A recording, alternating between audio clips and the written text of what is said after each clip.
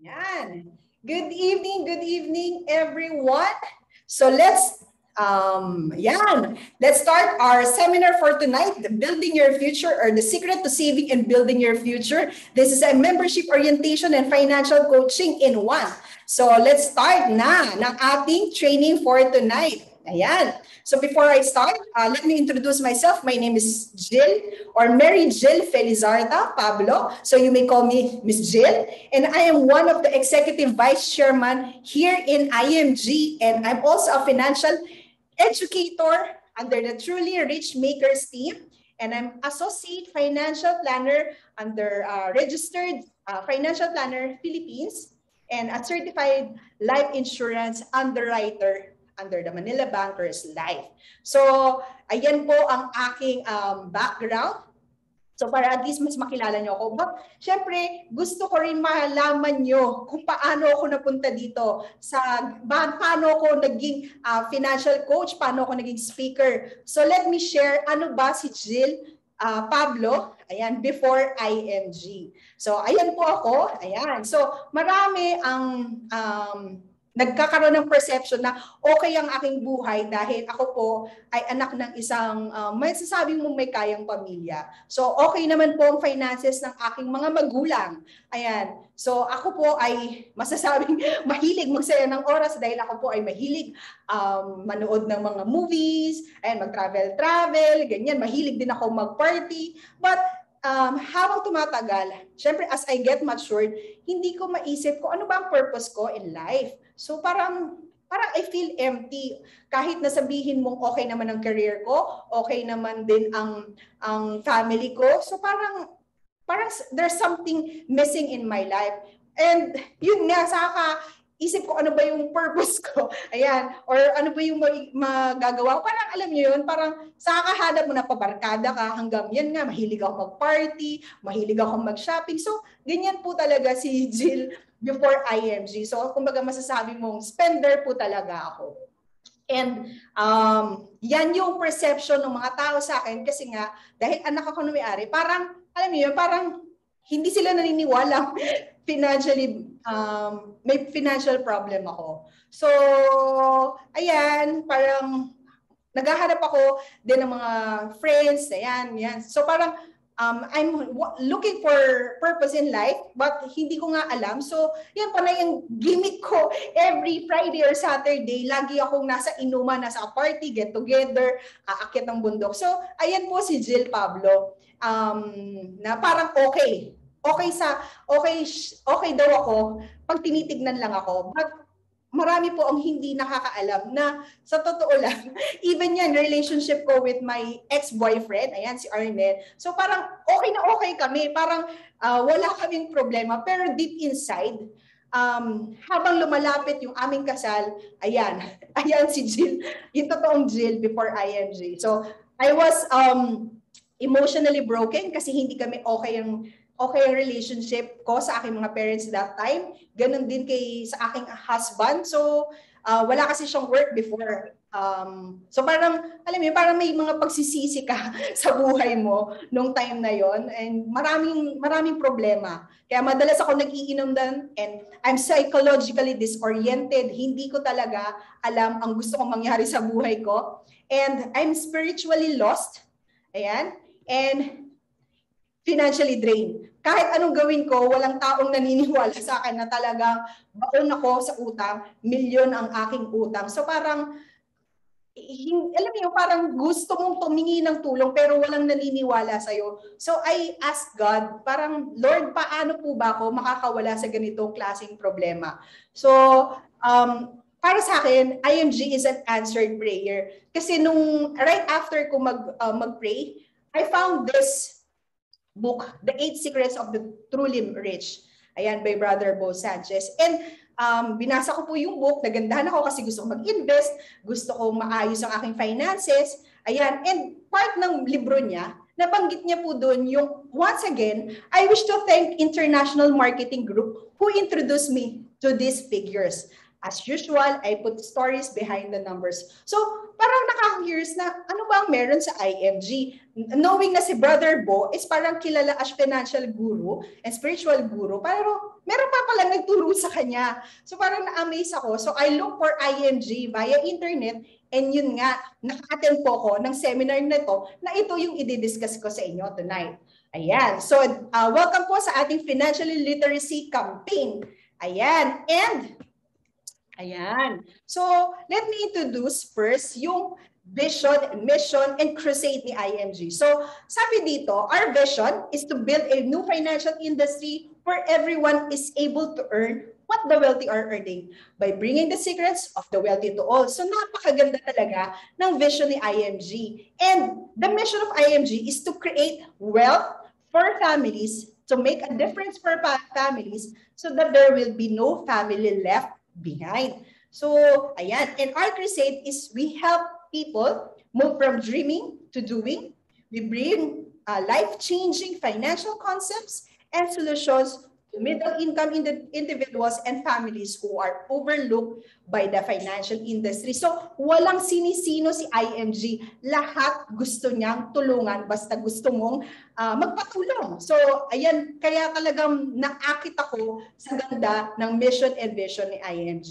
And um, currently, IMG has a mission of uh, help, helping 30 million fa- Filipino families by the year 2030. Kaya po talagang uh, marami kaming financial uh, literacy seminars kasi nga gusto talaga namin ma-reach yung goal namin na makapag-educate ng maraming Filipinos. And sabi ni Boss Rex Mendoza, isa siya sa uh, financial guru or investment guru here in the Philippines.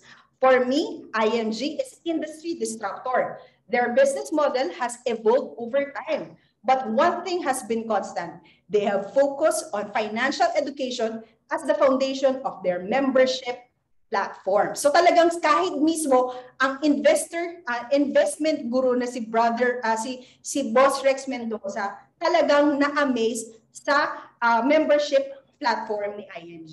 And ayan po, ito po yung sinasabi namin, yung The Secret to Saving and Building Your Future. So please get a copy of this book. Meron din pong ebook ito. So you may ask the person who invited you para magkaroon po kayo ng access. At ito po yung ito, uh, some of my topics tonight, ito po yung uh, pag-uusapan natin. Okay?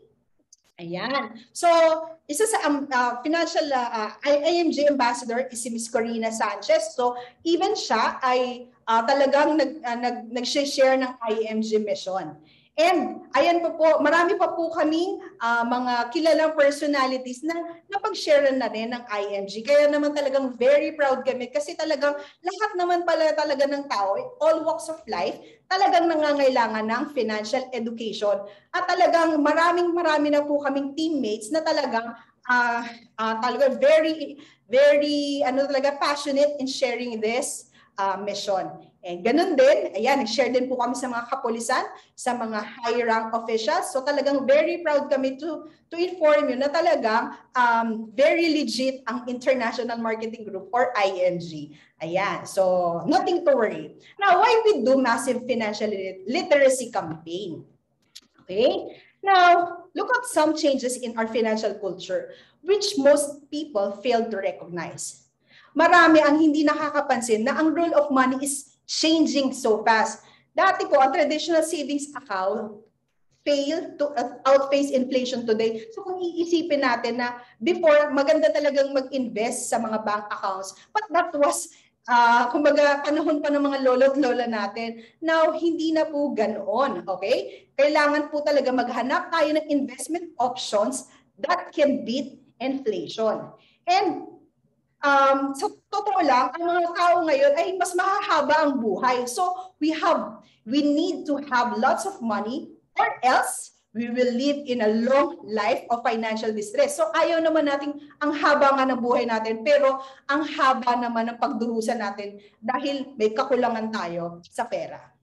And the sky, uh, skyrocketing cost of living. Alam naman natin na talagang uh, mas mabilis pang tumaas ang mga bilihin kesa income natin. So kailangan talagang maghanap tayo ng way paano ito masusolusyonan.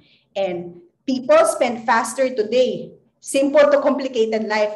Imagine, before, um, nung 80s, ha, ako po kasi ay pinanganak nung year 1982. So dati, enough na yung mga larong kalyed, right? ba? Pero ngayon, ang mga kabataan ngayon, um, may mga, kailangan may gadgets, kailangan laging malimit nasa malls, at dati royal, royal, makakainom ka, pag may sakit ka, ngayon kailangan Starbucks na, milk tea na. Yan na yung mga talagang uh, fancy coffees at mga, fan, mga milk teas ng mga anak natin ngayon.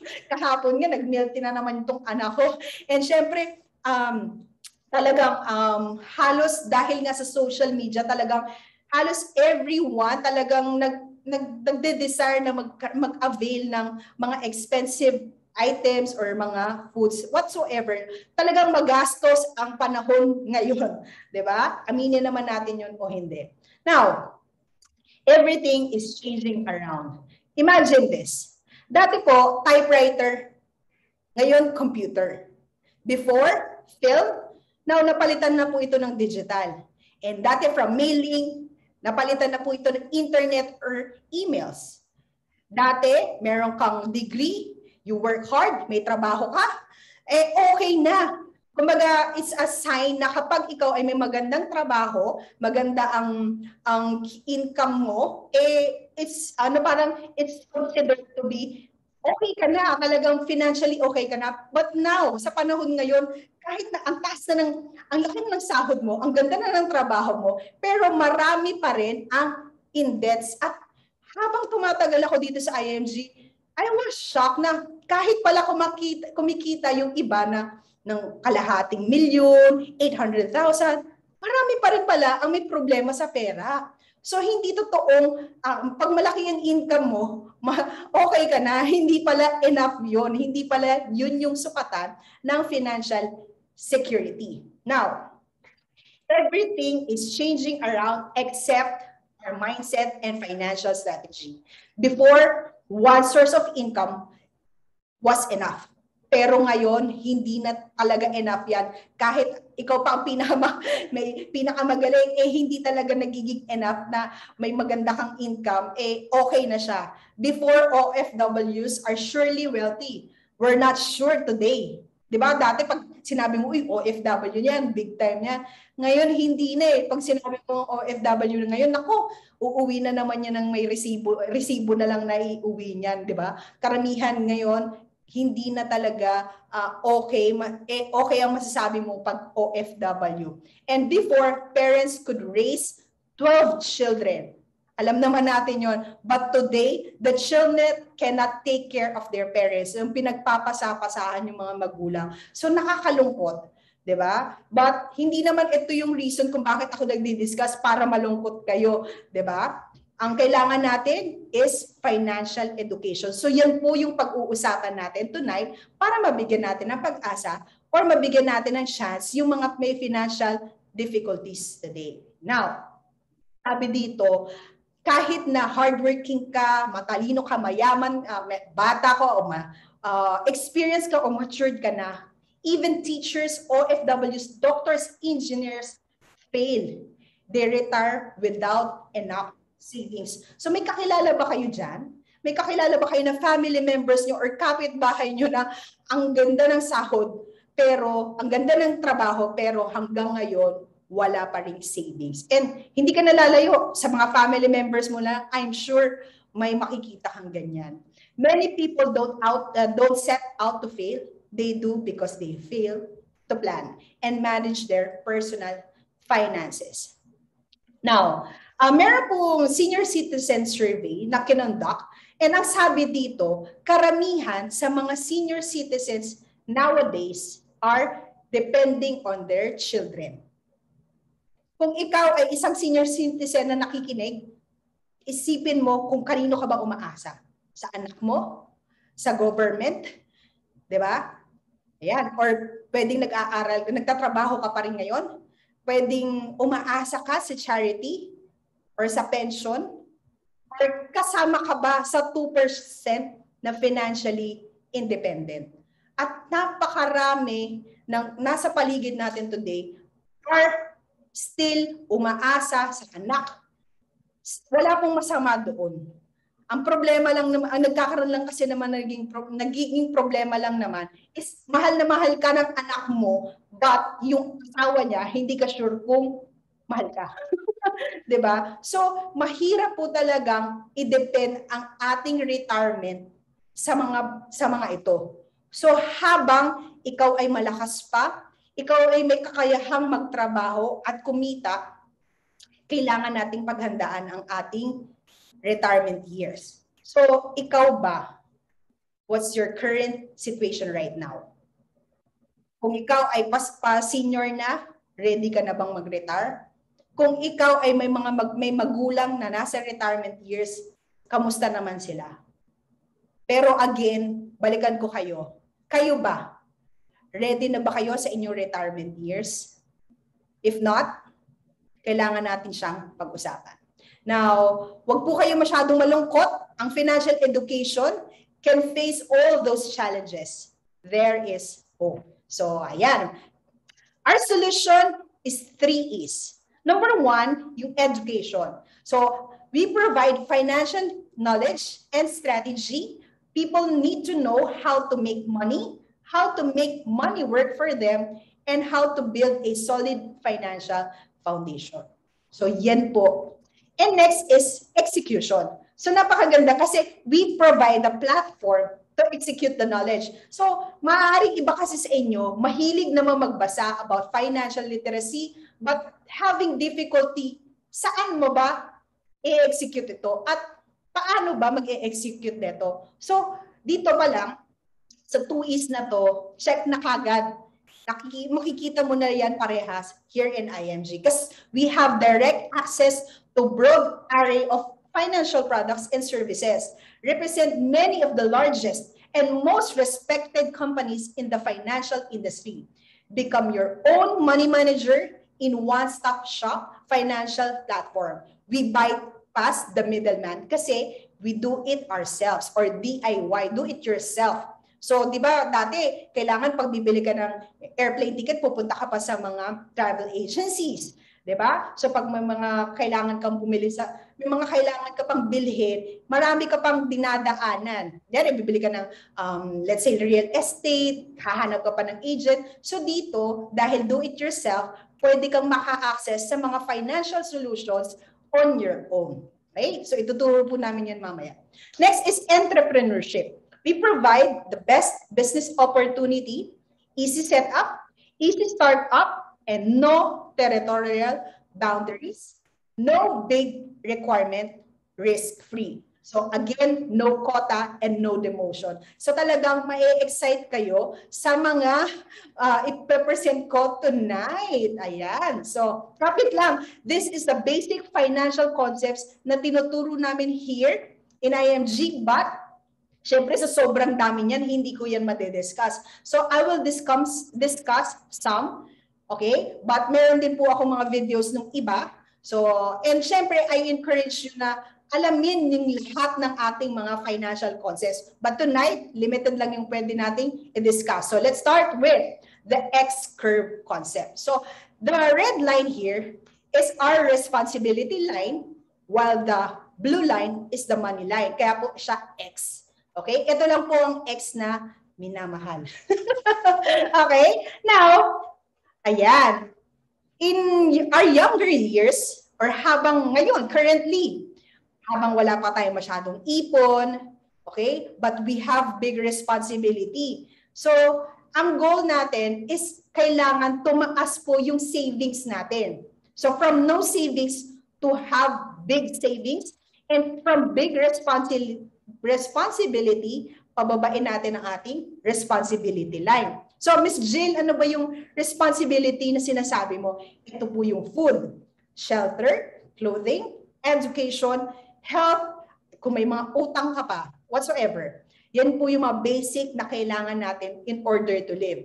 But, sa totoo lang, lahat po ito ay inaasa natin sa ating active income. So, yung active income, no work, no pay. 'Di ba? Agree ba? So meron po ba sa inyo na kahit hindi kayo magtrabaho, kumikita? Aba, kapag ganyan ang senaryo mo na kumikita ka kahit wala kang ginagawa, ikaw ay nasa passive income stage na. So imagine na ang goal natin here is from active income, makapag-create ka ng massive wealth or big savings para magkaroon ka na ng passive income. Para kahit uh, bata ka pa, pwede ka nang mag-retire. And yun, retirement years mo, eh, enough ng, yung passive income mo, enough na siya to sustain your responsibility. Yan, ganun, ganun pa din. Kailangan mo pa rin naman ng food, ng shelter, ng clothing, ng education, and de- become debt-free. And pinakamalaking expense natin habang tayo ay tumatanda or nagmamature ay health. So kailangan po talagang we, we really have to prepare for our retirement years habang tayo ay malakas pa. But habang ginagawa natin ang pag-create ng big savings, pataasin ng ating money line, dumadating tayo sa sitwasyon ng ating buhay na ganito dahil meron po tayong tinatawag na ifs in life. Yan. What if ang senaryo, we die too soon? And another if is what if we live too long? Now, ang solusyon po sa problema na pag nawala, nawala ka ng maaga, kailangan pala magkaroon tayo ng income replacement. Sometimes we call it instant money at pinakakilala ito sa tawag na insurance. So, dun marirealize na ah, maganda pala talaga ang insurance kasi it's an instant money na pwedeng maibigay doon sa ating family members. And another solution for what if we live too long, kailangan pala mag-invest tayo ngayon habang tayo ay malakas pa at bata pa para yan yung magsusustain sa atin on our retirement years. So living on interest ka na lang. And that's your protection for yourself. So parang kahit ilang nurses ang kailanganin mo, wala kang problema kasi nga marami kang investments na na-prepare nung malakas ka pa. But sa, sa pagitan nitong what if we die too soon and we live too long, meron pang isang senaryo at madalas yan ay emergency. 'di ba? Yan ay madalas na tayo ay nagkakasakit. So we really have to prepare for this para ngayon pa lang, kahit na tayo ay nag-iipon, hindi maaapektuhan ang ating savings in the future dahil meron tayong solution na na-provide during this emergency cases, which is the healthcare or short-term healthcare or what we call sometimes na ay yung iba, yung iba hindi pa masyadong familiar sa long-term care. So I'll discuss it later. Now, in building our financial house, dapat daw, yan, kailangan strong ang ating foundation. Kailangan it, it could withstand the typhoon or the earthquake. So, kapag yung financial, ay yung, yung bahay mo, eh mahuna, syempre, most likely, tutumba yan. So, nakakalungkot yun, di ba? Na mas, masisira agad yung bahay mo. Pero ang mas nakakalungkot, yung financial foundation mo. How about your financial foundation? Can it withstand the financial crisis like today? Current last year pa, alam naman natin merong pandemic. Marami sa atin ang nawalan ng trabaho. At ang ilan, nagkasakit dahil sa stress, nagkasakit dahil nagkaroon ng COVID. So yung iba naman, nagkaroon ng disability. So, how's your financial foundation currently? Naapektuhan ka ba sa mga nangyari this season? So, dito, tinuturo here in IMG ang tamang pagbibuild ng solid financial foundation. Number one, dapat makapag-increase tayo ng cash flow. Next, meron tayong dapat healthcare, life insurance, managed debt, emergency funds, and investments. So sa pagbibuild ng ating financial foundation, kailangan ganito po in or, yung order. So marami rin ako nakakausap na, Jill, gustong gusto ko mag-invest, gusto kong gusto kong uh, makawala sa problema ko sa utang. Pero alam nyo, ang mali dyan, laging inuunang investment at, emer- at, at gusto nila makawala sa utang. Ang problema, kapag inuna mo ang investment mo at emergency funds, kapag hindi ka nag-prepare dun sa life insurance at healthcare, lalong lalaki ang problema mo. So kailangan ganito ang tamang pagbibuild ng financial foundation. This is a financial foundation. This foundation is recession proof, pandemic proof, weather proof. It can withstand the different uh, situation or scenario ng ating um, ng mga nang kaganapan ngayon. Kumbaga, crisis-proof po ang finan- solid financial foundation at talagang napatunayan natin, namin here in IMG, na kapag nakapag-build ka ng solid financial foundation, hindi ka mag-worry. So, nagiging wealthy ka na at hindi pa nababawasan ng wealth mo dahil nga tama ang pagkakasalansan o pagkaka, pagkaka-build mo ng iyong financial house.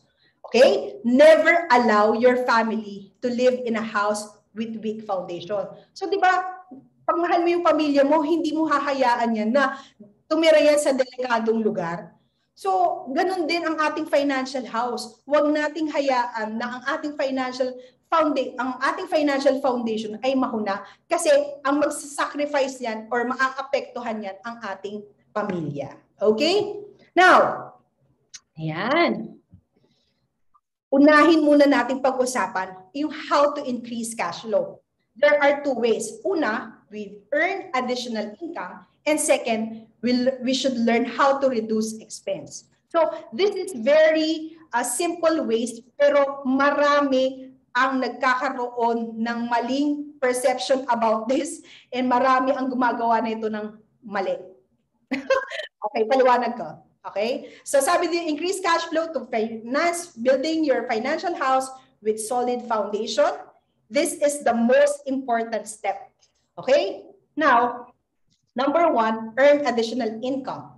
Okay? Make every available time productive. Kaya congratulations po sa ating 154 participants for tonight.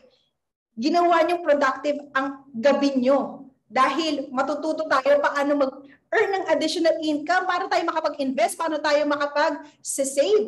And pwede tayo mag-start ng our business. Pwedeng part-time or full-time yan. So ang importante, mag-isip ka ng paraan paano ka mag-earn ng additional income. And can you be wealthy in your present job or business? So kung ang sagot dyan ay no, pag-isipan mo mabuti kung mag-stay ka pa sa pinagtatrabahuan mo. Now, if not, hindi ka pa, hindi ka na, the answer is, hindi ka magiging wealthy dyan sa pinagtatrabuhan mo. Pag-isipan mong maigi, and kung syempre medyo, alam ko yung iba sa inyo, takot pa rin na umalis sa current job, why not use your spare time para magkaroon ng, uh, ma-maximize mo yung oras mo in building your wealth. Okay? Now, tanong ko kayo, pwede bang mag-chat kayo how many po sa inyo ang more than one ang sources of income? Meron bang makakapag-chat sa inyo na ako I have two, ako I have three? Meron ba? Ayan. So, sa tingin nyo rin, ayan, merong tatlo, ayan, merong apat, o di ba? Sa totoo lang, kasi talagang hindi na enough. Ayan, nag-raise ng hand si Miss Andrea. So, talagang kung iisipin natin, hindi na talaga enough ang uh, one source of income. So talagang kailangan mong kumayod, 'di ba? Ayan. And pag-isipan niyo mabuti, gaano karaming tao ang umaasa sa income mo. Kapag buong pamilya mo ang naka, nakaasa sa income mo, mag-isip kang mabuti. 'Di ba? Parang what if may mangyari sa iyo at lahat ng tao sa paligid mo ay nakaasa sa income mo? paano na sila. Okay? Kaya talagang napakahalaga na ma- maintindihan natin tong solid financial foundation.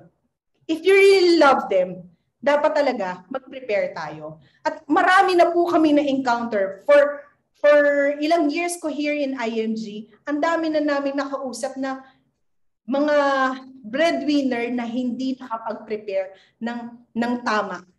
Kaya ang nag-sacrifice yung mga anak, yung mga asawa. Kaya talagang dapat tayong mag-prepare. Now, what do you do in your spare time? Hindi naman lahat po tayo dito ay may maraming pera. Hindi naman lahat ay magaling. Pero lahat tayo, naniniwala ako na merong spare time. Lahat tayo may spare time. So, tanungin niyo yung sarili niyo, ano ba ang ginagawa niyo sa spare time niyo? Nagne-Netflix ba kayo? Nag, na mga nag, nag-games ba kayo? Nag-iinom ba kayo?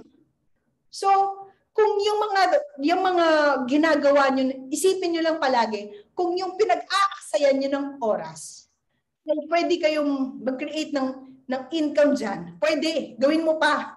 'Di ba? Kunyari nag nag-video-video ka, eh kumikita ka doon eh. Why not? Pero kung nag-video-video ka lang para magpa-cute, ay pag-isipan mong mabuti kung hindi ka ba nagsasayang ng oras.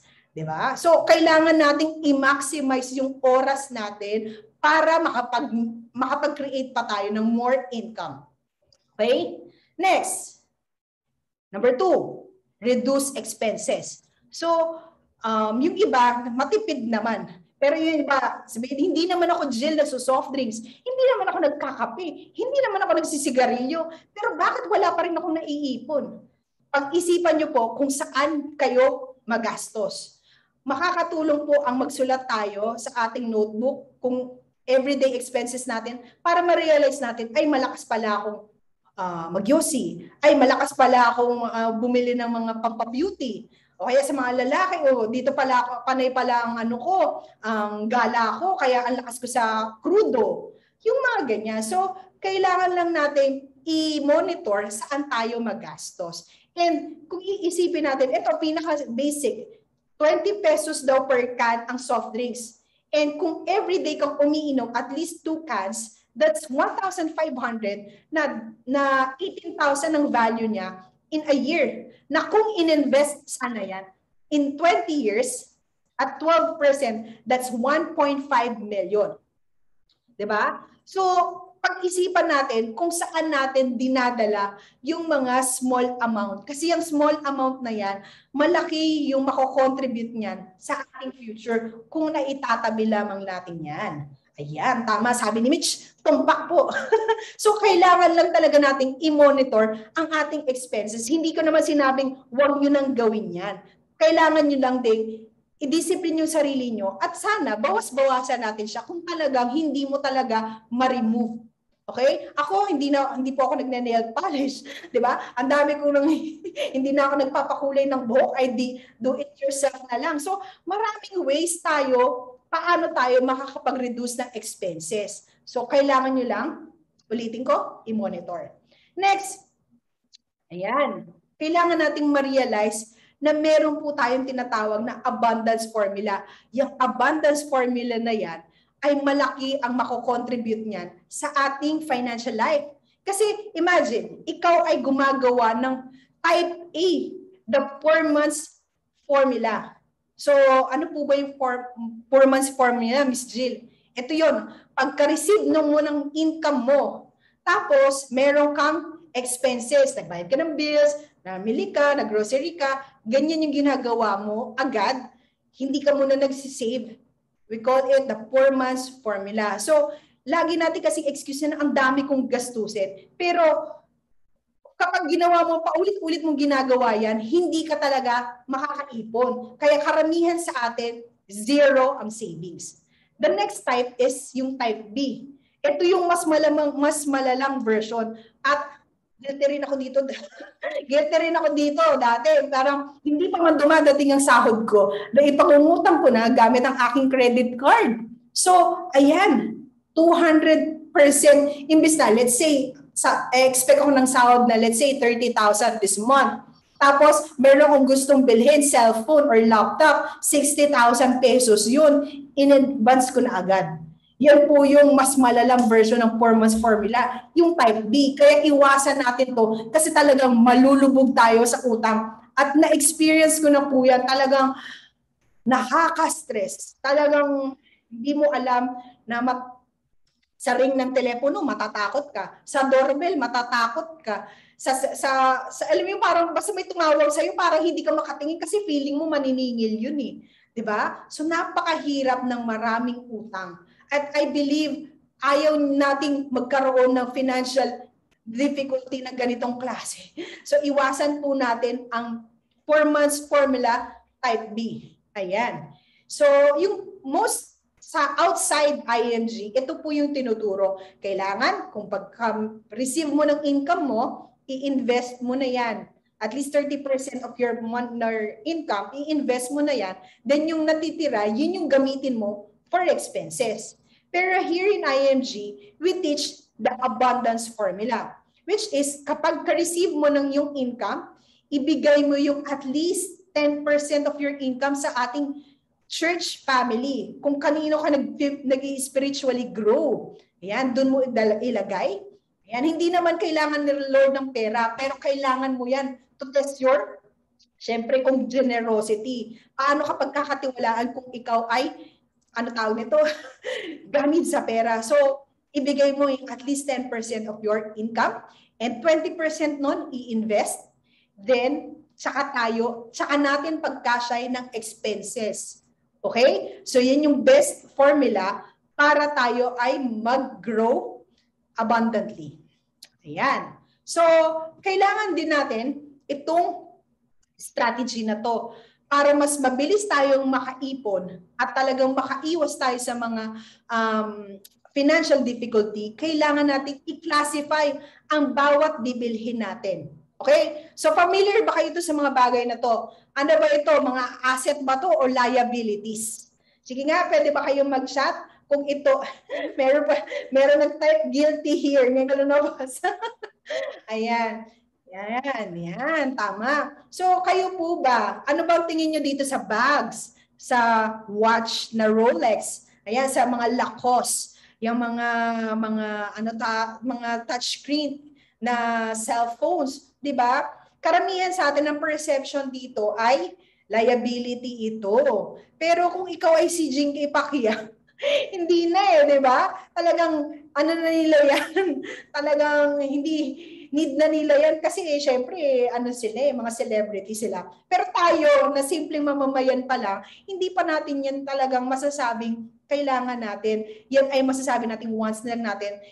Kapag ang binibili mo, testing mo to ha, kapag may bibilin ka na more than doon sa, let's say, nag-receive ka ng money, ng income, tapos more than doon sa, 50% of your income, eh, mako-consider mo ng once yun. Talagang kinain na niya buong income mo eh, yung kalahati ng income mo. So kapag 10% lang or 5% lang or 3% or 1% lang, sige, bilhin mo na. Pero pag yan ay talagang makaka-apekto at ipangungutang mo pa, talagang yan ay needs lang. Hindi tayo hindi naman magbabago ang oras, hindi naman hahaba ang buhay mo kapag bumili ka ng mamahaling relo, 'di ba? Hindi ganoon. So talagang kailangan nating i-classify ang ating needs and wants. At walang problema kung gusto mo yan as long as hindi uh, hindi maaapektuhan ang iyong savings for your future. Now, ayan. So, nasolve na natin ang isang problema natin, yung increased cash flow. Paano ba makapag-increase? Next, pag-usapan na natin yung healthcare kasi this uh, this can protect our health and wealth. So, yan. Okay? So marami po sa atin, ang perception sa healthcare ay short-term lang or yung tinatawag na HMO. Usually, it is given by the companies, pero marami pa po ang hindi nakakaalam about the long-term care. Yung long-term care po is, um, it is a healthcare fund na kailangan ma-prepare mo ngayon pa lang para sa kung sakali mang mahaba ang iyong buhay para hindi ka magkaroon ng financial difficulty parang baka mamaya mangutang ka pa kasi uh, hospital ka or kailangan mo nang isugod sa ospital pero hindi mo maisugod-sugod ang sarili mo sa ospital kasi nga wala kang pera. So, ito yung solusyon sa um, fear mo, yung long-term care. Now, tanungin ko kayo, sagot kayo ha sa chat. What is most more important? Memorial or healthcare? Yung totoo po. sagot po tayo. Ano po ba yung mas importante? Healthcare. Pero personally, sa, ang dami ko nang nakausap, mas marami ang taong nagsasabing healthcare ay mahalaga, pero mas maraming tao ang kumukuha ng memorial. Lahat po tayo ay gustong makarating ng langit, pero walang gustong mauna. So ikaw ba? Gusto mo ba na mauna, kumbaga, hukay ka na agad. Kung dadalhin ka sa ospital, gusto mo ba indiretso ka na ba sa hukay? O gusto mo munang iwas hukay ka muna? So, di ba, nakakatawa yan. Nakakatawa yan. Pero marami po talaga ang tao, mas pinaghahandaan ang ang ano yan, ang kamatayan. So, kung ayaw nating dumiretso at magamit kagad natin ang ating memorial, mas unahin po natin ang ating healthcare. Okay? Ayan, tama. Ah, kasi Ayan, before IMG, kasi yan ang nakita ko nag-o-offer. Oo nga, kasi mga IMG members, ang bagal natin. Dapat unahin natin talagang i-share ang healthcare. Okay? So, at least tayo, since IMG na tayo, at marami tayong natututunan, umpisahan natin mag-start ng pag-build ng ating wealth sa pagkuha ng healthcare. Now, para mas maunawaan nyo pa, Miss Jill, parang parehas lang naman yan. Healthcare din naman yan. Ano ba pinagkaiba na short sa long term? Okay, ang short term, yun yung binibigay usually ng company or bibilin mo para sa sarili mo, it is considered annual renewable. Ibig sabihin, every year dapat nagbabayad ka, nagre-renew ka. Well, long-term healthcare, seven years lamang po ito na pag huhulog o pag-iipon. Para mas maunawaan pa natin, ang short term, number one, renewal not guaranteed if with high claims. Ibig sabihin nito, kapag ikaw ay, kunyari, kumuha ka ng short term, tapos napansin nung, nung long term, ng, ng HMO company na ikaw ay madalas nagkakasakit, madalas ka nagpapa-confine, madalas ka nagpapa-check up, aba, ikaw ay considered na high claims. So ibig sabihin, possible candidate ka next year na huwag ka nang i-renew. Okay? Kasi kapag lahat ng kliyente nila ay kagaya mo, na palaging gumagamit ng healthcare, eh magsasara sila. So gusto ng mga HMO company na healthy tayo. But kapag lagi kang ang nagkakasakit, hindi na nila mag-guarantee sa'yo na next year pwede kang mag-renew.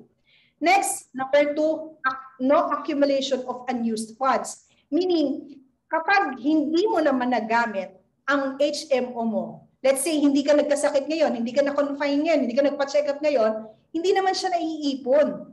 So, babay na. Babay na yung binayad mo. So, wala na po yon.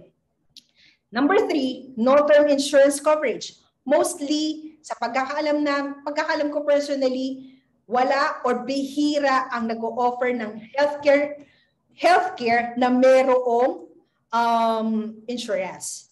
And doon po sa number four, no returns of, return of premiums for non-utilization. So imagine na hindi ka nga, hindi, hindi mo naman nagamit, pero hindi rin naman sa'yo ibabalik. Okay? So tingnan niyo po itong long-term healthcare. Number one, renewal is guaranteed. So once na nag-start ka na ng iyong long-term healthcare, every year po, kahit nagamit mo man yan for hospitalization, hindi po yan, ah, hin- lagi ka na pong uh, makakapag-renew. Kasi nga, seven years mo lang siyang puhulugan. Second, all unused healthcare funds accumulate with interest. Dahil pinanatili mo yung sarili mo na healthy, aba, bibigyan ka pa niya ng um, yung, yung lahat ng mga healthcare fund mo, iipunin niya yon with interest pa. Next, with four-way interest uh, insurance coverage. So meron po siyang term insurance. So just in case na kumuha ka ng healthcare, di ba? Pero just in case namatay ang policy holder, meron pong insurance na maiiwan para sa pamilya. Second, kapag namatay yan, seven years po yung naguhulog. Let's say, three years pa lang naguhulog. Pero pang apat na taon na dapat bayaran, wave na po yun. Meaning, hindi na yan dapat, hindi na kailangang bayaran. Next, ADDB, Accidental Death and Dismemberment. Disablement. So, yan po ay just in case na na-aksidente or nagkaroon ng dismemberment or natanggalan ng, ng braso, ng paa, whatsoever, meron po yung insurance equivalent. And next is, meron din pong waiver or mawi-waive din siya just in case na patunayan na ikaw ay uh, disabled na. So, uh, yun yung maganda here in long-term healthcare.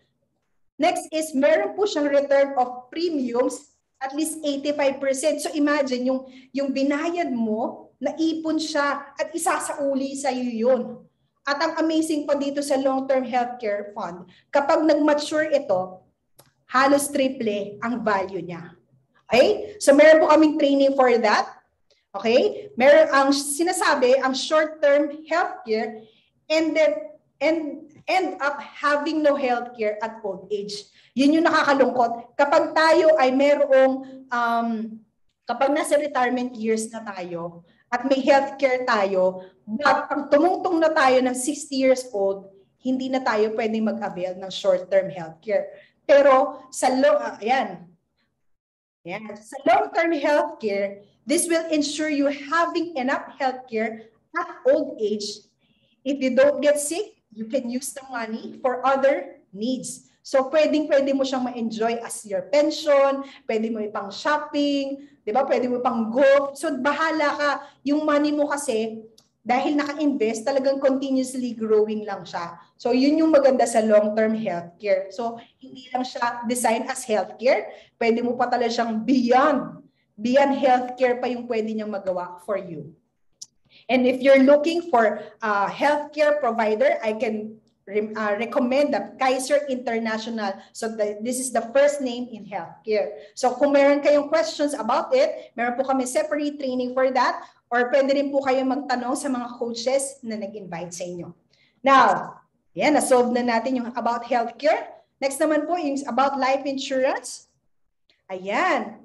So this is to protect family while building wealth. So ito po yung sagot dun sa what if we die too soon. Sino ba ang mag-aalaga sa ating mga anak or sa mga taong ating minamahal? So, I'll give you the scenario, okay? So, imagine this. Tayo po ito. Tayo ang breadwinner. Or maaring nanay mo yan na OFW. Maaring tatay mo yan na engineer. So, lahat po ng family mem lahat po ng breadwinners, ang goal niyan ay magkaroon ng comfortable life or luxurious life ang ating pamilya. Dahil mahal na mahal natin ang pamilya natin, gusto talaga natin magkaroon ng magandang buhay sila.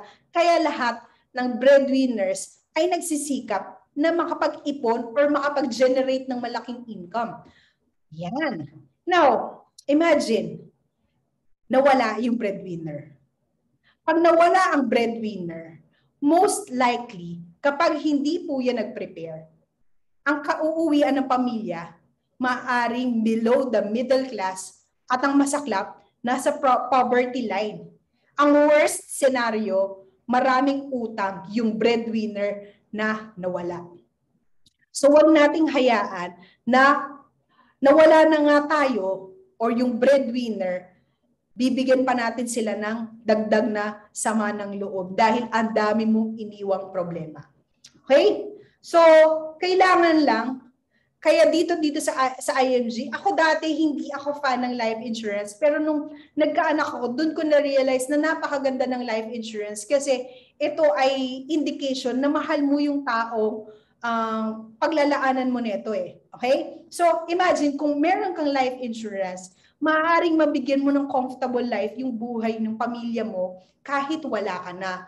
Mananatili ang pam, ang ang ano tawag na pangarap mong magpapatuloy ang pangarap mo para sa kanila. So hindi sila titigil sa pag-aaral, hindi sila magugutom, hindi sila magmumukhang kawawa kapag naghanda ka ng insurance. Okay? So maaaring iba kumuha pa ng malaking plan kaya maaaring milyonaryo pa ang pamilyang naiwanan. So just think about this. You work hard because you love your family and you have big dreams for them. So what will happen to your dreams for them if something will happen to you? Okay? So in case you can't there, you can't be there to catch them, you are sure you have a safety net. So ang tawag po natin sa life insurance is a safety net. Okay, next. Ayan. Most people, ito yung medyo nakakalungkot na part, nauunawaan natin na ma, na, na, na para ma-protection na ng sasakyan, kailangan niya ng malaking insurance. Kasi ayaw natin magasgas yan, ayaw nating masira yan. Pero yung driver, kadalasan, yun yung family member natin, pero walang insurance. O kung meron man, napakababa ng insurance coverage. So imagine this, yung insurance premium, yung insurance cost na 1 million, ang premium niya 20,000 pesos per year. Usually ha, merong iba 30, merong iba 40, depende sa sakyan.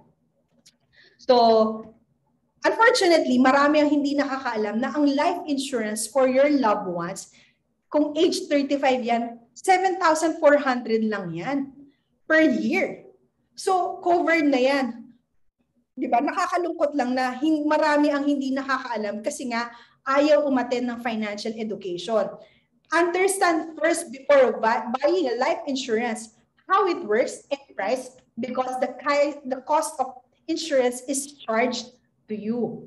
So, kailangan lang nating malaman kung mag, magkano yung enough na term insurance for us. Now, when nung lumabas nung lumabas ito, yung life insurance kasi before I I used to get um ang tawag nito, almost 5,000 ang binabayaran ko monthly doon sa medyo masasabi mong sikat na na uh, insurance provider. Imagine 5,000 pesos per month. Tapos ang, ang laki na niya, tapos ang liit ng coverage. Pero dito sa sa sa pinakita sa amin, itinuro sa amin, here kahit 1 million yung coverage na kunin mo, ang babayaran mo lang is 6,800. Kaya hindi na ako nag-atubili, kinuha ko siya agad. Imagine, 6,800 lang, fixed premium. Again, fixed premium. Pag sinabi mong fixed premium, hindi tataas yan. Sa typical insurance outside, every year yan nagtataas. Pero here, 6,800 fixed premium at age 35 at 1 million pesos. So talagang very affordable. And sa pagkuha mo ng life insurance, ito lang naman ang kailangan mong i-check. May protection ba yan? Siyempre life insurance yan, dapat talaga may protection yan. And safety, ibig sabihin yan, eh hindi ba yan nagbe-below? Kasi meron po mga invest, meron mga insurance na meron kasama ng investment. But nakakalungkot, yung investment na yun nagne-negative. Pero here, hindi po nagne-negative, kaya talaga mako-consider mong very safe ang investment or insurance na ito. Next, it has a tax advantage and it has growth. Okay? So, kailangan ulit, kapag kukuha ka ng life insurance, i-consider mo ang four cornerstone, ah, cornerstones na ito. Now, So ayan po yung uh, I could recommend sa inyo yung most 18. Yung most 18 po is uh, most uh, ang tawag nito multiple option super term. Okay? So kung ikaw ay nasa Pilipinas, pwedeng-pwede kang mag-avail niyan. Now kung ikaw ay nasa ibang bansa, ang marirecommend ko sa iyo yung most GRP or the multiple option super term group Okay? So papasok ka sa group insurance ni IMG para ma-avail mo yung napaka-affordable at maganda po yung mga riders ng Mungus GRP. So if you're interested, pwede po kayo magpaturo sa coach nyo kung paano makapag-avail niya. Okay? So talagang napakamura niya. And next, manage naman natin ang ating debts. Ayan.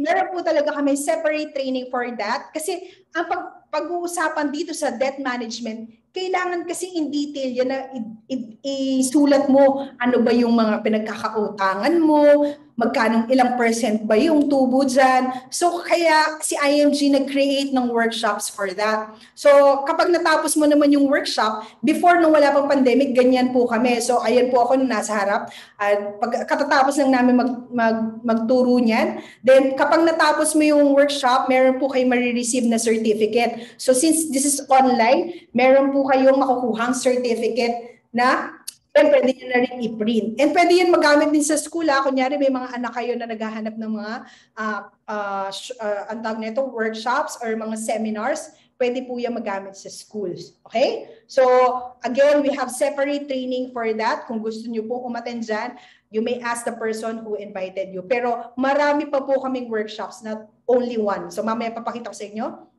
So, ayan. Let's skip na. Emergency funds. Ayan. So, kailangan mo tong i-prepare. Kasi yung financial emergencies are talagang unpredictable. Merong darating ka na family members, yung in-laws mo, yung aging parents mo, or even yung grandparents mo, tapos mga car repairs, merong nabangga, merong nasira sa bahay, mga appliances. So yun yung mga unpredictable talaga na pwedeng makasira sa iyong budget. And catastrophe yan, kagaya niyan, may mga bagyo na naman, pandemic, di ba? So, kailangan talaga nating ma-prepare yung emergency funds Lalo na kung na-encounter mo yung sudden loss of income, loss of job, business failure, or shut, slow down.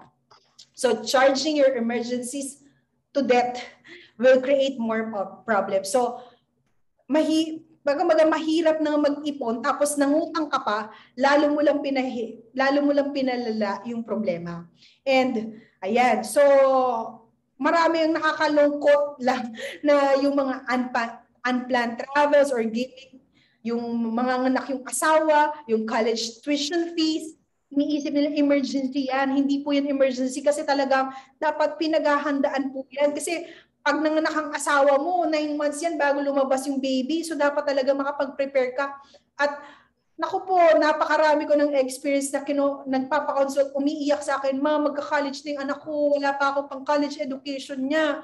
So di ba parang, hindi po yan kahapon lang pinanganak yung anak nyo. Kaya dapat po maghanda tayo. Di ba? So, ang hirap lang talaga kasi nga, marami ang taong iniisip emergency yun. Sa kakaisip nila na, oh, matagal pa naman yan. Tapos dumating na sila sa sin- scenario na, wala na, hindi talaga nakapag-prepare. So solution, kailangan mag-prepare tayo ng emergency funds at least six times ng ating monthly income. Pero dahil sa pandemic ngayon, hindi lang enough ang six times monthly income. Kasi more than a year na po tayo, almost two years na tayong nasa pandemic status. Kaya talagang hindi enough ang six months na monthly income. Now, yan. Dito naman sa investment, pwedeng pwede talaga na tayong mag-invest. Basta una, alam mo yung mga financial goals mo and we need to know how to grow that savings kasi hindi pwedeng ipon ka lang ng ipon. ba? So what if we live too long? Who will take care of ourselves? So yan yung sagot dito sa ating uh, problem na mahaba ang buhay, kung mahaba ang buhay mo, investment ang solusyon diyan. Now, Investment. Know how uh, money works. So kailangan lang nating malaman kung paano mag-create ng money at paano yung money mag-work for us. So imagine, parang, alam niyo yun, nakapanood na ba kayo ng palabas, mga palabas na lalo, laging yung mayaman, nasa bahay lang, nagta-travel, nag-golf. Doon yung, doon yung, doon ko na-realize na, ah, yun pala yung sinasabi nilang money working for them. Okay? Kasi parang ganun, ba't ganun? Parang wala naman silang ginagawa, pero parang hindi nauubos yung pera nila kasi napag-aralan nila kung paano mag-work yung money for them. So, yun yung kailangan nating matutunan. And let's learn uh, how to accumulate income producing assets and create multiple passive income streams. The size of your passive income determines the level of your financial security. So, kung, kung kumiki, may passive income ka na ng kalahating milyon, uh, masasabi mo bang financially secured ka na? Kung isang milyon yan, financially secured ka na ba? So, kailangan talaga um, maging malaki ang ating passive income para mas malaki ang ating financial security. And if you lose your income today, how many years your savings will last? So, think about it. And please, uh, let's know how money market works. Kasi yung money market is a powerful tool. Kailangan lang natin siyang matutunan paano i-maximize and know the investment instrument that that can help you beat inflation. Kasi marami po talaga ang nai-invest nowadays but hindi nila na-realize na invest sila ng invest pero yung inflation hindi nila nabibit. Below the inflation rate lang sila nakakapag-invest. So here in IMG, ang dami naming training dyan, paano mabit ang inflation. And kapag mag invest ka, hindi lang dapat invest, dapat alam mo yung duration mo, dapat alam mo kung saan mo siya ilalagak or ano yung investment na vehicle na gagamitin mo para makapag-invest ng tama. Ayan. So, here, meron po, let's say, meron kang um, funding for your emergency funds, ideally, ilagay mo yan dun sa instrument ng cash deposits or sa bank deposits or sa money market. Dun siya ideal na ilagay. Kasi nga, short term lang siya. Now, yung retirement mo, huwag mong ilagay sa deposit kasi pwedeng-pwede mo siyang ma-withdraw anytime. Kaya ang ideal, yung retirement money natin, i-invest natin sa equity or sa stocks. Kasi nga, kung medyo bata-bata ka pa, eh, mahaba pa yung time mo to grow. So hayaan mo lang yung money mo doon na nakalaga para yun sa retirement mo. Huwag yung mag invest ka for your retirement tapos after a month, we withdrawin mo rin agad. So, it's a wrong move strategy. So, kailangan ma-determine mo muna ano yung goal mo para sa investment na ito. Tapos, saan mo siya i-invest. Yun po yung tamang strategy. And meron po akong uh, webinar niyan. I mean, um, video niyan. So, sa aking account. So, later on, share ko sa inyo aking ano, account. So, pag-usapan natin, daanan lang natin yung stock market. Now, marami sa atin ang gustong mag-invest sa stock market. Kasi gusto natin bumili ng Jollibee, gusto natin maging shareholder ng Ayala Land, gusto natin yung isang poste ng SM meron tayo, 'di ba? Parang feeling natin boss tayo pag nasa BPI tayo. Yun yung mga reasons ng iba kung bakit gusto nila mag-invest directly sa stock market. So, maraming ways naman po talaga makapag-invest sa stock market. Pero syempre, yung iba takot kasi inisip nila, pang mayaman lang yan, kailangan malaki yung pera mo, kailangan, uh, naku, very high risk yan. So, kailangan mo lang maunawaan bakit siya nagiging high risk. At gaano pa yung pwede mong initial na pwedeng umpisahan kung gusto mo talagang mag-invest. So, again, meron akong video about this. So, dadaan lang natin to. Pero give, I'll give you an idea na there are two ways to invest in stock market. One is direct and indirect. Kapag sinabi mong direct, ikaw yung mismong mamimili. So, imagine, kunyari, sa sa Jollibee, uy, bibili ako ng Jollibee. Uy, bibili ako ng BPI. Uy, bibili ako ng SM. Uy, bibili ako ng Ayala. So, ikaw po yung mamimili ng iyong sariling investments. Kaya, yun nga, pag-aaralan mo talaga siya. So medyo hindi ko siya nire-recommend para dun sa mga beginner. Lalo na kung maliit lang ang budget mo, hindi namin talaga nire-recommend ang direct stocks para dun sa mga bago lang. At yun nga, maliit lang ang amount na pwedeng ilabas. Pero pwede naman talaga. Kaya lang nga, hindi mo rin hindi ka rin kikita kasi ng malaki kung maliit lang yung budget mo. So, might as well, mag-invest ka na lang sa indirect, nakakabili ka rin ng mga shares sa mga companies na sinabi ko kanina, pero hindi masyadong malaki yung kailangan mong ilabas na kapital at hindi ka pa mamomblema kasi meron niyang fund managers. Yung mga fund managers, expert na yan pagdating sa, in- sa industry na yan. Sila yung mismo nag-aral about it kaya hayaan mo nang sila ang bumili ng shares on your behalf. Wala ka pang problema. Kaya ganun kaganda ang mag-invest sa mutual funds. Again, meron akong video about this. So, kung if interested kayo, bibigay ko mamaya sa inyo yung channel ko.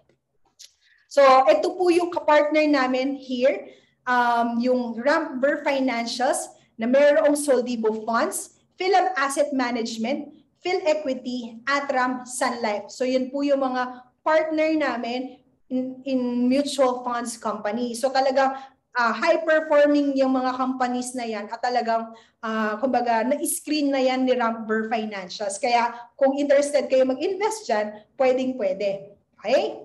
Now, how money works. Break muna ang konti.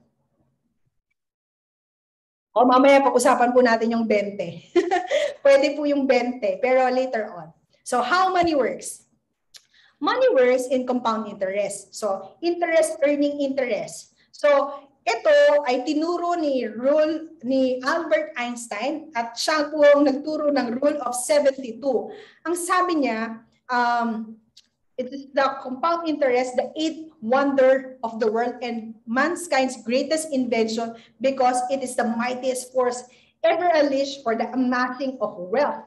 So talagang napakaganda ng compound interest pero marami ang ang hindi nauunawaan ng compound interest pwedeng mag-work against you. So dapat matutunan natin paano mag gumana ang compound interest in favor of us. Paano dodoble yung pera natin ng mas mabilis?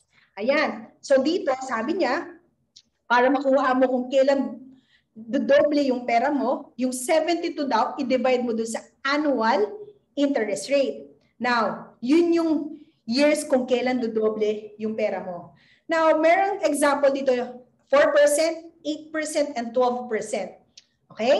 Now, sabi dito, 72 i-divide doon sa interest rate. Ayan, kaya lumabas dyan, 18. So, meaning, every 18 years po, dodoble yung pera. So, yan. So, imagine, meron po tayong 100,000. So, let's say, itong si Ferry Mancao, meron siyang 100,000 pesos, ininvest niya. Okay? Tapos, at 4% yon. Ibig sabihin, every 18 years, dodoble yung pera niya. So, after 18 years, that's 200,000. Another 18 years, that's 400,000 pesos. So, enough na bang retirement money ang 400,000 pesos? I believe hindi pa. Now, pasok naman tayo dito sa 8%. So, 72 divide 8, that's 9. So, every 9 years, dodoble yung pera. So, na-realize ni Candeline, ay maganda pala mag-invest sa 8%. Kasi, yan nga, yung first year, first year niya, 100,000. After 9 years, that's 200,000. Another, uh, na, another 9 years, that's 400,000. And another nine years, that's 800. And another nine years pa, that's 1.6 million. So, ang liit ng difference ng percentage, pero ang laki ng effect. So, imagine, that's 1.6 minus 1.4. That's, di ba, 1.2 million yung difference. Tama ba yung math ko? Di ba? Imagine that na, ang liit lang, dahil lang hindi mo alam doon mo ma-realize ang laki pala ng perang nawawala sa'yo. Di ba? But kung na-realize mo, ay, meron pa palang 12%. Actually, marami pa, marami pa yan. Pero para sa illustration purposes, dito pinakita na kung na-invest mo yung money mo at 12%, every 6 years pala, pwede itong dumoble. Kaya naman, kung every 6 years yan, ang money na yan, after 36 years, that's, yan, That's 6.4 million. So imagine, napakalaki nung difference. So dito mo marirealize na yun pala yung cost ng financial ignorance. Marami sa atin ang nag-i-invest pero hindi natin alam kung saan yung tama, saan yung mas okay, saan yung mas safe. Lahat po yan safe. Lahat po yan tama. Pero kung gusto mo ma-maximize yung power ng compounding interest, dapat alamin mo kung saan mo ilalagay yung pera mo. Yung 4%, meron yung bond. Yung 8%, at least dyan yan yung balance fund. Diba? At 12%, yan yung mga equity funds. So, kailangan mo lang malaman para ma-maximize mo yung pera ng yung, yung power ng pera mo. 'Di ba? So, kung konti na lang yung time mo, aba, bakit ka pa mag-i-invest sa 4%? And sadly, marami sa atin, below 4%. Worse, hin wala pa ang 1%. Tanungin ko kayo, saan nakalagay yung pera nyo? Sige nga, chat nga kayo, saan nyo ba nilalagay yung pera nyo ngayon? Natutulog ba yan? Actually, kahapon lang may kachat ako, isang member ko, mag-i-invest na dapat yun. Alam nyo ba, hindi niya agad na ipadala sa akin. Kasi sabi niya, iniipon niya pa raw. Ang masaklap, yung inipon niya, ninakaw ng katrabaho niya. Ayun, nakakalungkot. At the same time, parang naaawa rin ako kasi nga, sana in- kinulit ko pa siya. 'Di ba? Sana yung pera na yun, 'di ba, nai-invest na niya. So, kailangan talaga minsan maunawaan natin, kailangan kulit pa more. 'Di ba? So, ngayon, at least ma-realize natin na napakahalaga at napakalaki pala ng cost of financial ignorance. So again, wag po nating hayaan na dahil feeling natin, alam na natin lahat, eh i-ignore natin yung mga tinuturo sa atin or invitation sa atin ng mga ating mga kaibigan. And congratulations once again sa ating 166 participants still keeping on, keeping on, nakakapit pa rin kayo, di ba? So, yan. And more often than not, people put their money in less than 1% and borrow money at more than 12%. Yan yung pinag-uusapan namin mag-asawa kanina. Biruin mo, meron palang, ano, akala ko kasi ang, ang tawag nito, yung 5-6, diba? That's 20%. Akala ko monthly yun. Pwede palang weekly yun. Pwede palang, depende pala yun sa nagpapautang. So, ang laki-laki pala. So, imagine yung credit card natin, magkano yun? That's 3.5%, that's 40%, 42% per year. So kung 72 divide 42, wala pang 2 years, doble na ang utang mo sa credit card. So again, yung pera mo ba, yung 72%, yung rule of 72 ba, kakampi mo o against you? So, napakahalaga talaga ng financial education. So, we want you to invest correctly. Now, ito dinaanan natin, yung mga pinag-usapan natin kanina, yung X-curve concept, the rule of 72, building a solid financial foundation, abundance formula, short-term care, pero ang dami ko pang hindi na-discuss. Ang dami pa, pero I believe marami na kayong natutunan tonight. So imagine, if you enroll, mas marami pa po kayong matutunan at mas magagaling po ang iba pang speakers doon. So, ito libre pa yung mga tinuro ko tonight. Ang dami nyo natutunan. What more if you enroll? Okay, so again, let's take time na matuto pa. And know what we know and now that we know the concepts of investing and where to get the money to invest, what are the next step? So I encourage you, take action. Financial education is useless without financial education, edu execution. Napakarami na po namin kakilala na, alam ko na yan, Jill, pinagdaanan ko na yan, uh, teacher ako, professor ako, uh, math, teach, uh, math masters ako, bank manager ako, uh, mataas yung position ko sa BSP. Pero you know what? Ang dami ng, even yung nakilala namin na um, ano tawag nito? Consultant, regional director, mga bank managers ang kilala ko personally, ang daming nagfe-fail sa financial planning kasi hindi nila na-execute. ba? So kailangan lang po talaga nating mag-take action. Hindi enough yung alam mo. Ang kailangan mag-take action ka. And you cannot build a solid financial foundation with knowledge only. So huwag kang maniwala sa sarili mo na alam mo na lahat. Kailangan mong mag-take action. Knowing what to do is not enough. You still need to do it. Paulit-ulit, you need to do it. You cannot build a solid financial foundation without financial products. So, ang dami ko nang naituro sa inyo, pero hindi nyo yun may execute kung wala kayong alam na financial products na pwedeng makatulong sa inyo. Now, ito po ay mga top IMG members benefit. Ilan lamang po ito. Daanan po natin ha.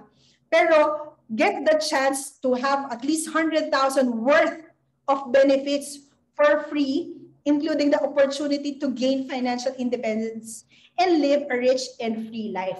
So, huwag muna niyo tingnan yung, yung worth. Tingnan niyo muna yung benefits na pwede niyong makuha. And dadaanan natin yung benefits na ako personally na avail ko. Gaya na sinabi ko sa inyo kanina, I was financially drained. Wala akong purpose in life. Tapos mabisyo akong tao, mahilig akong mag-shopping. Pero because of these benefits, 2015 when I joined IMG, these concepts changed my life. So please, hang on 166 participants, makinig po tayo. Okay? So ito po yung aming membership uh, platform. So from here, we do it. Yeah, we do it ourselves. We get educated on all aspects of personal finance, have access on hundreds of financial products and services, receive training and support to manage their money, save money on various products and services, earn by sharing their know-how with associates in the fast-growing industry. Now, ito po yung mga top benefits, pero again, daanan po natin siya. Meron pong free ebook. Ito po yung sinasabi ko sa inyong totoong book. Meron din free ebook. Meron free ebook din ng workshops. Tapos, yung sinabi ko sa inyo kanina na increase cash flow and debt management, workshop 1 pa lang yon. Meron building a solid financial foundation, proper protection. Kasi sa life insurance, maraming klase yan. Then, meron ding uh, about investments, itong workshop 3 Then about the estate planning naman yung workshop 4. So kung marami ka ng properties, paano mo ba siya mamamaximize at paano mo siya ita-transfer ng less ang expenses or no expenses at all. So, kailangan mo siyang matutunan. Okay? And build a business in the financial industry. So, workshop 5. Now, in case na, eh, Miss Jill, naku, malilimutin ako. Miss, Miss Jill, hindi pwede sa schedule ko. Alam niyo maganda dyan, pwede niyo yung ulit-ulitin. Pwede niyo yung atenan kung kailan kayo pwede. So, kailangan nyo lang alamin kung kailan yung schedule namin. Okay? So, hindi yan nauubos. okay. Here, number 8 benefit, this 9 and 10. So, ako, itong 8 and 9, 10, na-maximize ko talaga to. So, let me share yung life, life license review and because of that, naging life insurance underwriter ako. So, yan po yung license ko. And because of IMG, naging Associate Financial Planner kami mag-asawa. So nakapag-renew na rin kami ng aming uh, certificate courtesy of RFP Philippines. So yun yung kinaganda dito sa IMG. Hindi nadadag kala mo parang engineer tapos nagiging doktor ka. Yan, nadadagdagan ng nadadagdagan yung credentials mo. So if you're looking for that opportunity, yan. At mas marami pa tayong matutuno, matutunan maximize your benefits. And here, yan yung 11, 12, 13, 14, 15, 16. Yan. So, ito po yan. Ayan, yung personal na experience ko, pag naging IMG member po kayo, automatic you will have an 100,000 na personal accident insurance. 100,000 na personal accident insurance kapag IMG member ka. Pero sa case ko, since I am uh, under the CEO and up level, kaya meron po akong 300,000 na personal accident insurance. Sa benefit number 12, nagdagdag lang ako ng 500 pesos on top of my membership. Meron na akong additional na 50,000 na life insurance. 'Di ba? So ang mura. And ito pong ginagamit ko ngayon na lenses, ito po ay transition lenses. So pag nasa arawan ako, umiitim ito. At ito ay galing sa Vision Care courtesy of Kaiser Frames. Ayan, libre po itong aking uh, frames, pero yung lens ko, yun lang yung binayaran ko, pero very affordable. And kahit nasa ang sulok ng mundo ka, pwede mo may avail yan kasi nga, kahit na uh, walang De Los Reyes Optical in your place, pwede kang maghanap ng mga opto, licensed optometrist. So, i-reimburse ni IMG yung bayad mo doon sa consultation. Kaya, kung interested din kayo dyan, meron din akong tutorial niyan on my vlog, on my YouTube channel. Ayan. Okay? So, kapag isa kang IMG member, meron kang unlimited free consultation sa mga Kaiser Medical Center located at mga SM malls, Robinsons malls, meron na rin sa EPSA. So, ang dami-dami niya na rin branches here. Ayan. So, kailangan mo lang i-present ang iyong um, benefit card.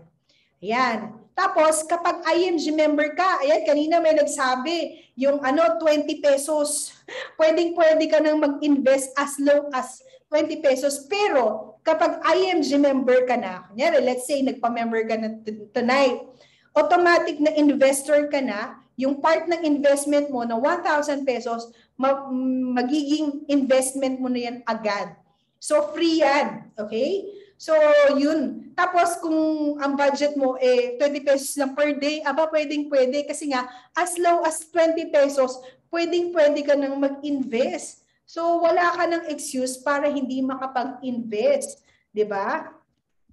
Now, ayan, ito yung uh, access sa mga healthcare products. So, ito po ay long-term healthcare na inavail ko ng aking spouse. So, pwede-pwede kang mag-avail ng mga uh, healthcare products. Pwede rin naman yan short term. Kung may magulang ka na senior citizen na, pwede rin silang mag-avail ng uh, um, senior care. Tapos itong life insurance products, I get my policy, ayan, pati yung asawa ko, pati yung anak ko, kinuhan ko na rin ng IRA or income replacement uh, assurance. So, ang ganda nitong individual hospital income or IRA. Kasi nga, um, just in case ma-hospitalize, wag naman sana. Pero yan ay ano, um, napaka-affordable lang niya.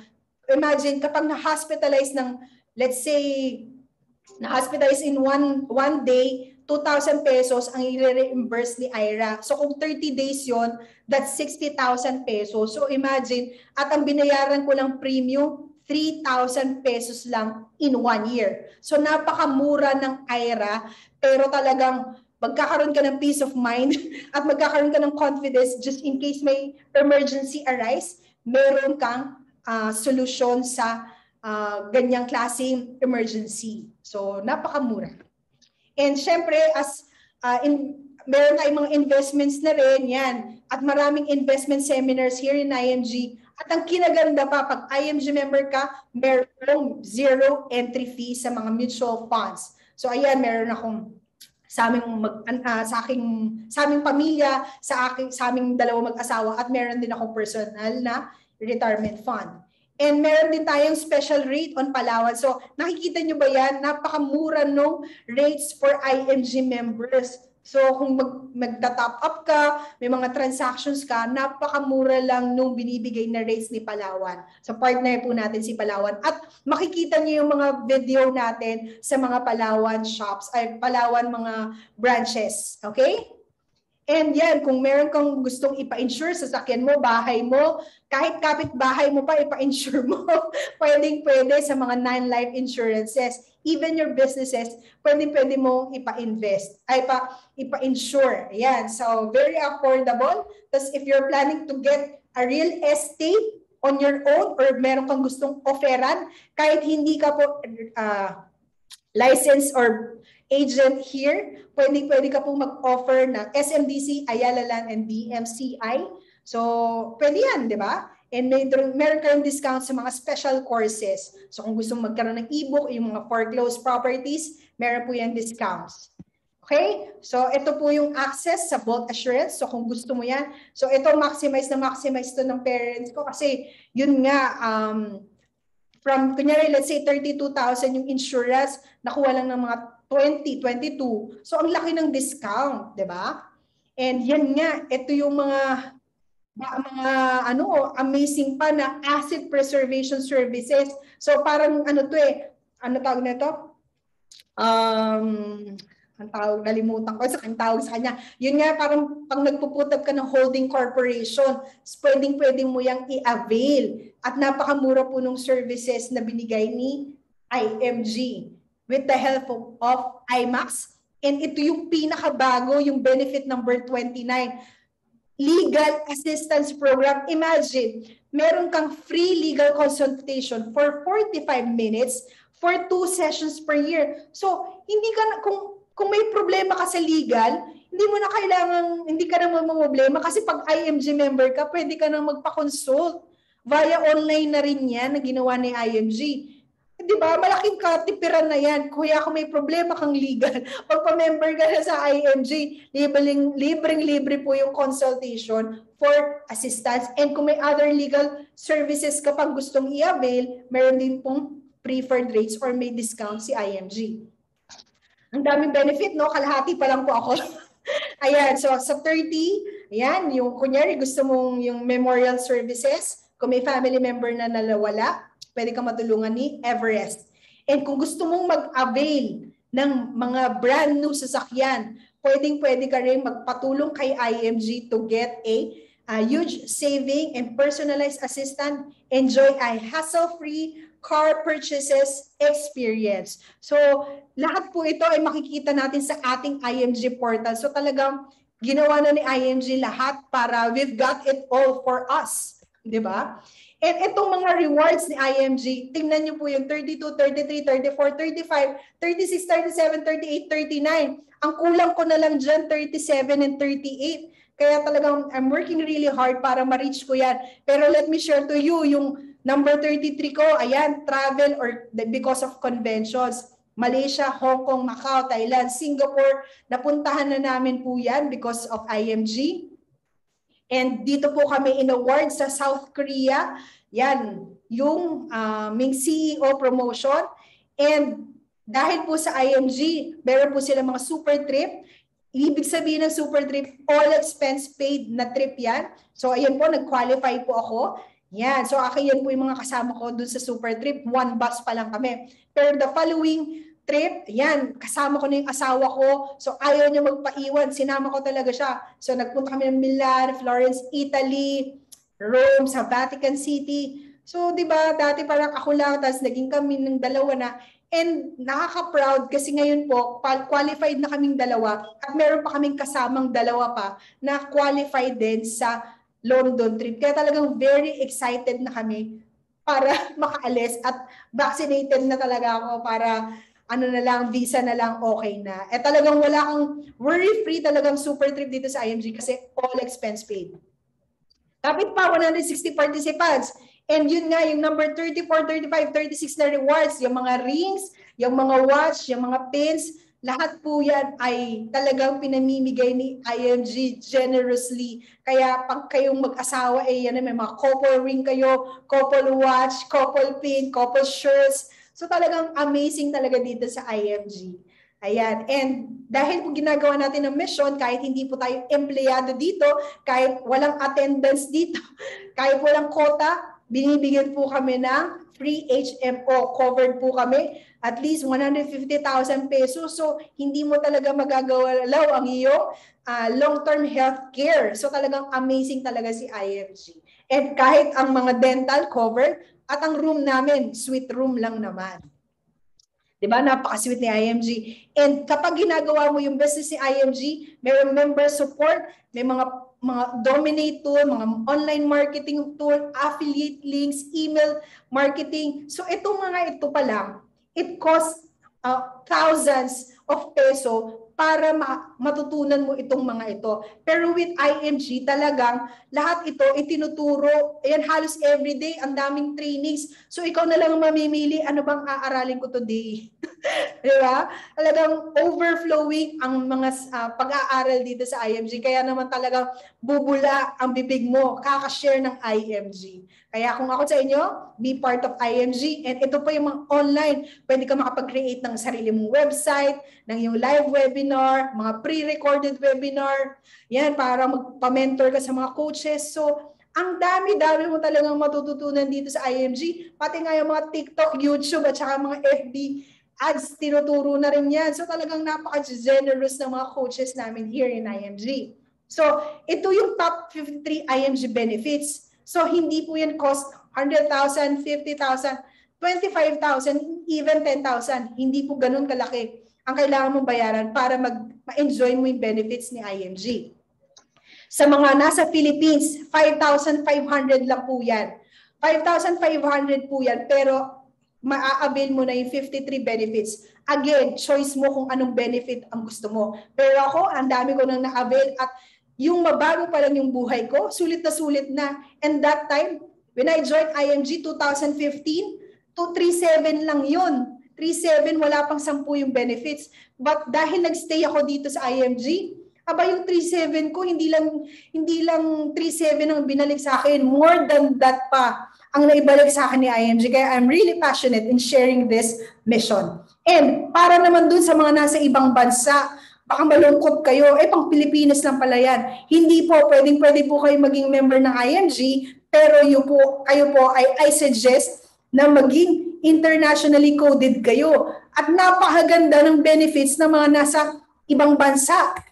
Yan. So, number one, yung, yung number 54, yung Visa card. Magkakaroon kayo ng Visa card. Tapos pag may mga exclusive events si IMG, kasali kayo.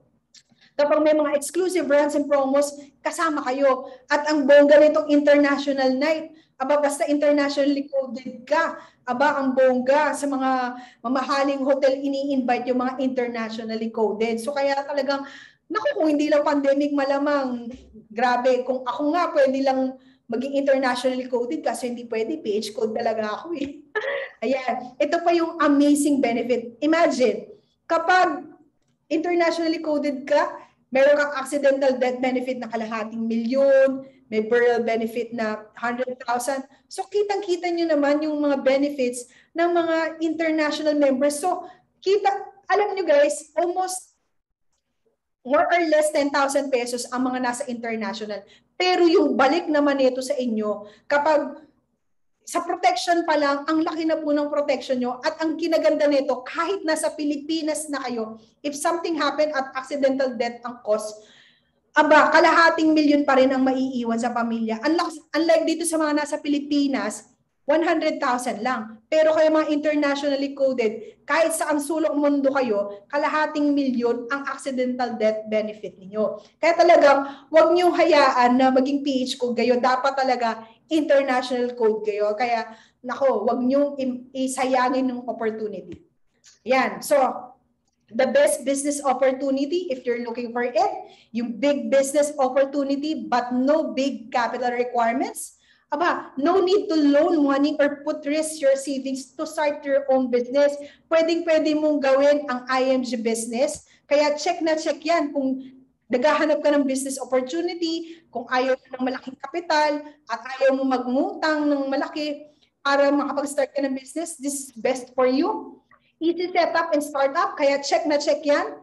Pwede dito full-time or part-time. This is proven and tested. When I joined IMG 2015, part-timer lang ako. Tapos 2017, nag-resign ako. Then yun nga, ginawa ko siya. 2018, I became CEO. So talagang proven and tested na po ang IMG's system. And the most powerful online platform. Kaya check na check yan. Imaginein mo, makakapaggawa ka ng business online 'di ba? So kailangan mo lang talagang gumawa ng paraan magkaroon ng malakas na internet connection at magagawa mo na ito. Hindi mo kailangan maging magaling.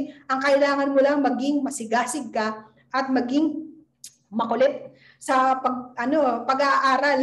Okay? Maging matyagang mag-aral. And ang pinakamaganda, no territorial boundaries. So anywhere in the world pwede kang magkaroon ng teammates So ako po, uh, grabe, hindi ko akalain na dadami yung mga members ko sa Saudi, sa Japan. Parang na-amaze ako kasi parang dati iniisip ko dito lang, may mga members na ako sa Italy. So parang nakaka-amaze lang din na hindi ko akalain na lalaki yung team ko ng ganoon karami at international pa talaga siya. So check na check talaga yan.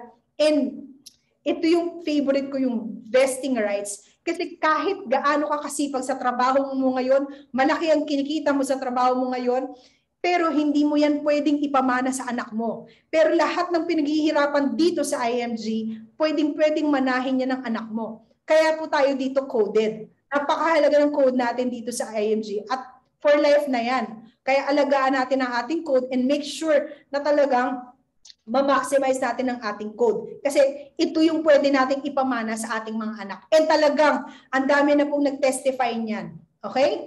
So, grabe, talagang nakaka-overwhelm. And system-driven rather than personality-driven. Maybe some of you are working and nakaranas kayo ng discrimination kasi hindi ka matangkad, hindi ka matalino, hindi maganda yung pinag-aralan mong school, hindi ka makinis, yung mga ganyan. Para, pero dito sa IMG, dahil nga uh, system-driven siya, hindi siya personality-driven, talagang ma-amaze ka na lahat pwede, kahit carpentero, janitor, factory worker, house helper, alam yun, lahat pwede, kahit bank manager ka pa, lahat dito pwedeng mag-umpisa kahit ikaw ay baon sa utang, kahit ay hindi ka pa kagandahan, hindi ka pa katalinuhan, 'di ba?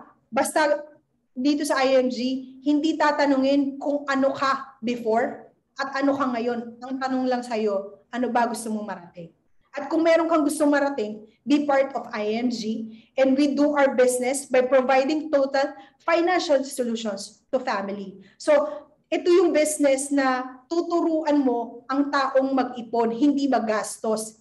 Tuturuan mo yung tao na paano mabago yung buhay niya. Tuturuan mo siya paano makawala sa utang. Tuturuan mo siyang maging, mahay, mag, maging maayos ang buhay ng pamilya niya.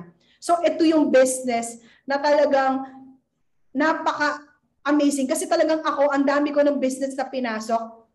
Pero dito talaga ako na in love. At talagang worth it ang paghihirap natin dito sa IMG. Kasi talagang we ano parang nagiging blessing, nagiging channel of blessings tayo sa maraming tao may financial difficulty. So, how IMG can help you? Maybe yung iba nagtatanong sa inyo, how IMG can help you? Paano ba matutulungan ng IMG? Alam niyo po ang pinaka-best way paano kayo matulungan ni IMG?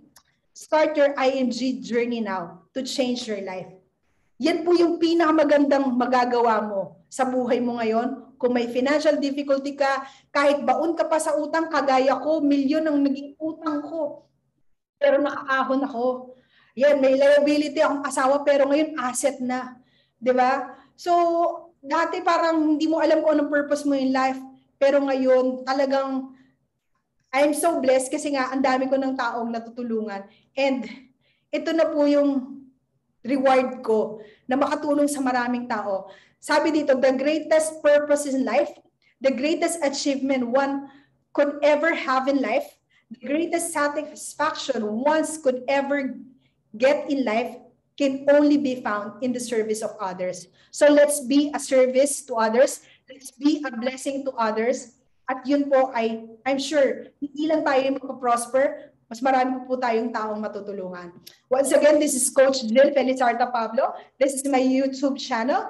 And please like and subscribe po kung gusto niyo po pong matuto. Mag-update po ako dyan ng aking mga uh, trainings. Ayan. And ayan po yung aking mga videos. So please like and follow na rin. And if you have questions, pwede nyo rin po akong i-contact dyan. Thank you so much for ano, staying with me. Ayan, 157 participants. Thank you po and have a great evening. Ayan. Diba?